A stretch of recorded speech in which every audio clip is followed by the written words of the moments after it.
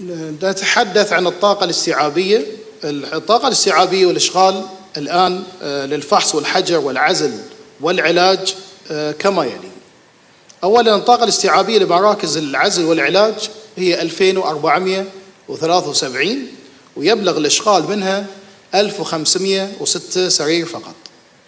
وفي مراكز القطاع الخاص تبلغ الطاقة الاستيعابية 136 والإشغال الحالي 50 الطاقة الاستيعابية لمراكز الحجر الصحي الاحترازي هي 1673 ويبلغ الإشغال منها 902 وفي مراكز القطاع الخاص تبلغ الطاقة الاستيعابية 801 والإشغال منها يبلغ حوالي 20 أه نؤكد إحنا في هذا في هذا يعني المؤتمر ودائما على أهمية الالتزام أه في شهر رمضان بكافة الإجراءات والقرارات الصادرة مؤخرا حفاظا على صحة وسلامة